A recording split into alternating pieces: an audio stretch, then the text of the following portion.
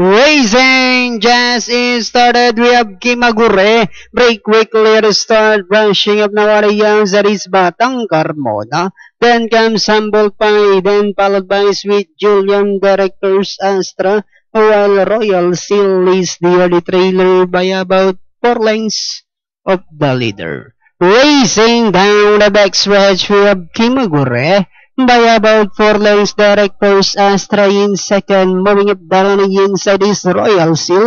The next on line is Batang Carmona. Humble Pie comes next while Sweet Julian now racing in less. Back to the leader, we have Kimagure enjoying a four lengths lead.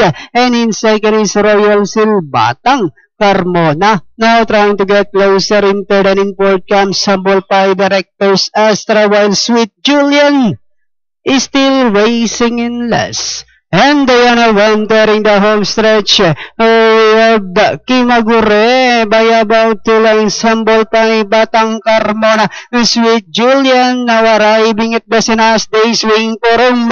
We have Kimagure, Humble Pie, Batang Carmona, Sweet Julian is on the outside with Humble Pie. Now takes command.